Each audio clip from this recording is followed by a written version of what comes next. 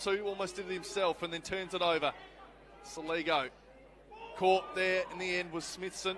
And now Ryan with the turnover, kicks toward goal, and it's over the umpire's hat. And on debut, Kobe Ryan gets himself a major. So 68 point ball game now. Ball comes to the half forward line. West Adelaide hopeful to make a score out of this. Ball ace, he's wrapped up, good tackle. And now Ryan runs away. Advantage paid for two on debut. Excellent poise and skill from young Kobe Ryan.